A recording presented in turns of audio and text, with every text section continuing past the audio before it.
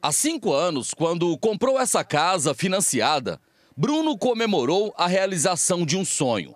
Mas logo que ele e a família se mudaram para o residencial Jardim Belvedere, vieram os problemas.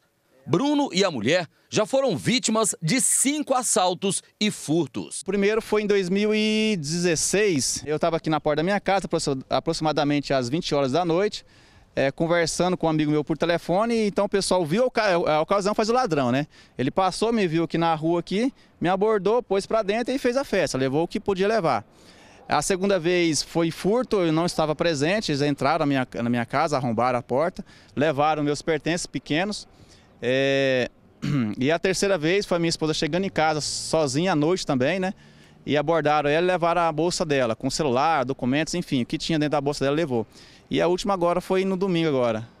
A ousadia dos criminosos que agem no residencial Jardim Belvedere é tanta que no último domingo a casa do Bruno foi invadida duas vezes pelos mesmos ladrões.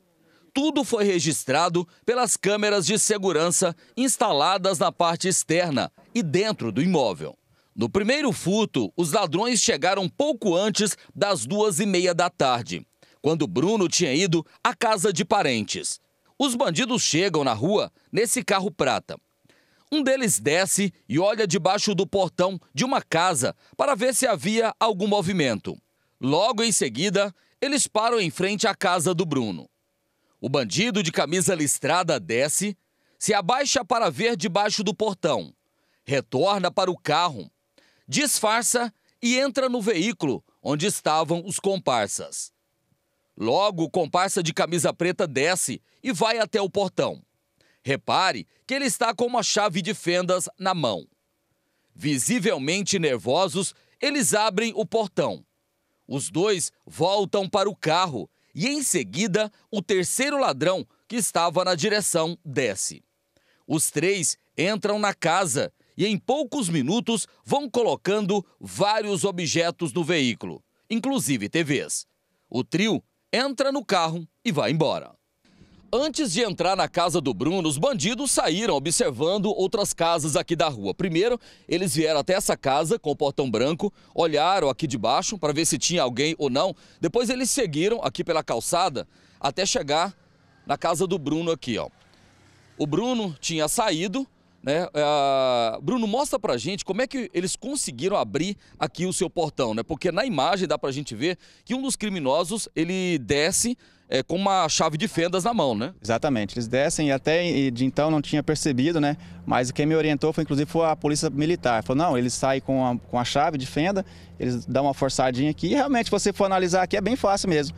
Eles usaram a chave de fendas para abrir o portão. Rompeu aqui, abriu, já adentrou e, e aí já sabe, né? A ousadia dos bandidos foi tanta que só aqui do lado de fora tem duas câmeras de segurança, tem cerca elétrica, muro alto, nada disso é, inibiu o bandido. Não, a gente, assim, a gente vê constantemente na, na, na, nos jornais aí que as câmeras já não inibem mais eles, né? Eles não têm mais medo de, de, de, de mostrarem o rosto. Aí depois que eles abriram aqui o portão, eles entraram aqui na casa, né? E ficaram um bom tempo aí, né? Pelo menos uns cinco minutos. Sim, é, foi contado na, nas câmeras aqui foi exatamente cinco minutos, é, o tempo que eles gastaram aqui dentro.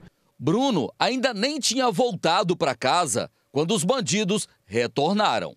As imagens mostram que eram 6h40 da noite quando o mesmo carro prata parou na porta da casa dele. Os criminosos tinham trocado de roupas. Um deles desce e entra na casa. Em seguida, um segundo criminoso também entra no imóvel.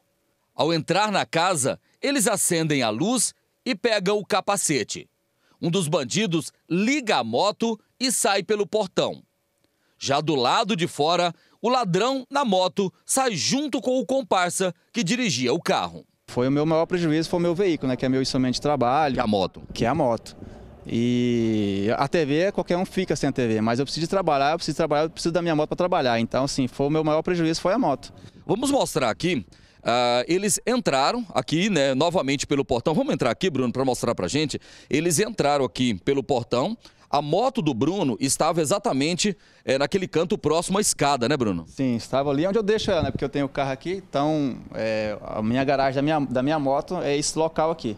Inclusive, a retirada da moto aqui foi registrada por aquela outra câmera que fica bem no canto, aqui mostrando aqui o pátio da casa do Bruno. A gente percebe que parece ele ter uma dificuldade em ligar e funcionar a moto. É, como, é, como é, assim, dá para perceber, são pessoas bem jovens, né? São meninos ainda, são garotos. Eu acho que se perceber lá deve ter a média de 15 a 18 anos no máximo. Então são pessoas que é, são inexperientes ainda.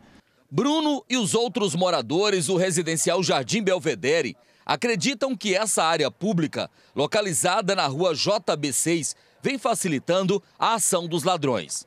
A área está destinada para a construção de uma praça, mas o local está tomado pelo mato e vem sendo utilizada para o descarte de lixo e entulhos. No setor, o medo toma conta dos moradores. A gente se sente ameaçado, né? Nós temos que nos sentir presos, né? Ao invés da gente sentir a liberdade de ir e vir quando puder, é diferente. A gente tem que se sentir preso para eles estarem na liberdade de entrar e sair dentro das nossas casas, né? De cidadãos de bem que trabalham para adquirir suas coisas. Infelizmente a gente não tem segurança, não, ninguém faz nada. É o que mais acontece com a gente. Aqui é muito perigoso, até durante o dia, Loares, aqui ninguém tem liberdade de sair, até mesmo para ir no mercado, para ir no hospital, porque você sente seguro de estar na rua e até mesmo dentro de casa a gente tem medo né, das pessoas estar entrando e fazendo alguma coisa com a gente. Difícil aqui é encontrar alguém que não tenha uma história de violência para contar. E meu filho e a minha nora. Inclusive, o meu filho foi, foi assaltado com mão armada. Aqui ele, a minha nora, estava a minha neta, que na época estava com 5 anos, ficou muito assustada. E agora, de novo, que ele entrou aqui dentro de casa, levou tudo e minha neta está chorando e não quer voltar mais para casa. Diante de tantos crimes, a mulher e a filha do Bruno nem querem mais voltar para casa. Elas estão com medo. Desde o primeiro assalto, ela sempre, pai, eu não gosto dessa casa. Ela, ela sempre toca esse assunto aí, me deixa até assim meio triste por ela, entendeu? E ela está na casa da, do, da, da madrinha dela, que é a minha comadre, lógico. E tá me ligando, pai, eu não quero voltar para essa casa mais, eu quero voltar, quando eu voltar eu quero estar em outra casa já. Então assim, a família toda se sente já traumatizada, eu já nem durmo mais em paz dentro de casa, que eu sempre fico com aquele negócio na cabeça, traumatizado. Minha filha e minha esposa não querem mais ficar nessa casa aqui. Infelizmente, assim, é uma casa que eu comprei, né, como todos sabem, é muito difícil, é dolorido, você tá, acorda cedo, é, chega à noite, para você conquistar os seus bens devagar, devagar, porque é muito difícil, hoje as coisas não são fáceis.